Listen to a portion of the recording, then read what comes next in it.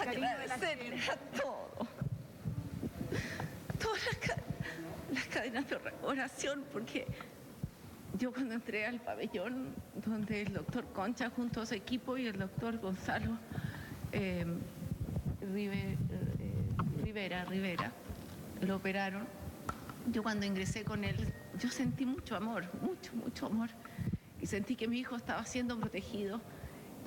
Y no me cabe ninguna duda que han sido todas las cadenas de oraciones eh, que se llevaron a cabo desde el momento que él ingresó a pabellón. Y yo sentí que la Virgen lo protegió y, y que Jesús también, a través del doctor y todo ese equipo, intervino, porque ellos estaban con una disposición que yo nunca vi. Me he sentido en esta clínica como si estuviera en mi casa.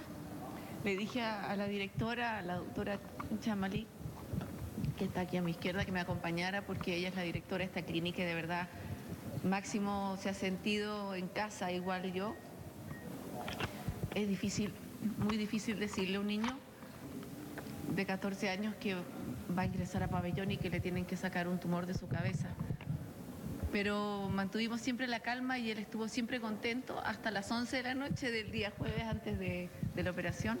Muy feliz, rodeado de sus amigos del colegio, de sus profesores, de toda su familia, por supuesto. Así es que estuvo muy contenido emocionalmente y yo estoy convencida que ha sido por todo el cariño de todo un país que nos ha apoyado con tanto amor. Y yo quise hacer esto porque yo no conozco a todo el mundo que me escribió, no conozco a todo el mundo que rezó por mi hijo. Y yo quiero que cada uno de ustedes sepan que yo estoy infinitamente agradecida. Este es el día más feliz de mi vida y siento que hace 15 años salí de esta clínica con mi hijo en brazos, pero hoy soy más feliz que aquel día, porque esto es un milagro y es el milagro del amor y de la oración de tantos. Así es que, y del talento y, de- y de- y del profesionalismo también de este doctor maravilloso. Máximo todo el país. Máximo, Máximo está muy feliz, está contentísimo.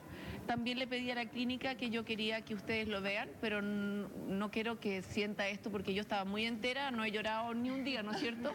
Y sin embargo me puse aquí y me puse a llorar. Cecilia, ¿cómo fue ese Entonces